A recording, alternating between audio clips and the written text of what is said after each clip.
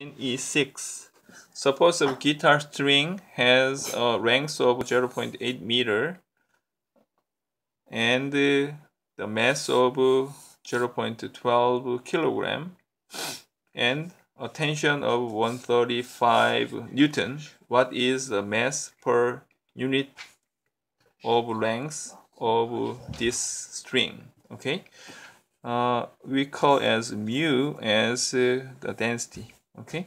String linear density. So is mass over the length okay?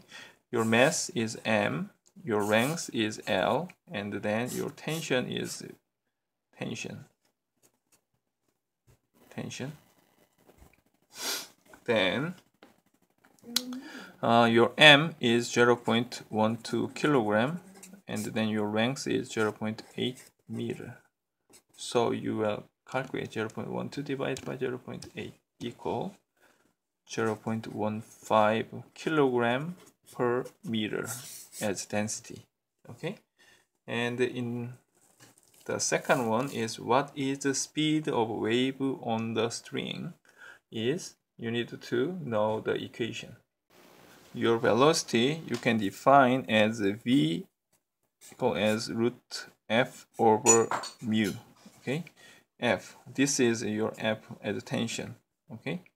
Your tension is 135 135 newton over your mu is 0.15 kilogram per meter.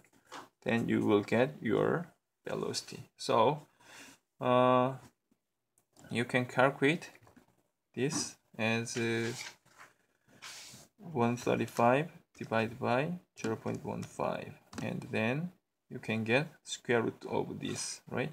Square root of 900 become your uh, 30 30 meter per second as your velocity of the wave on the on this string. Okay thank you and bye now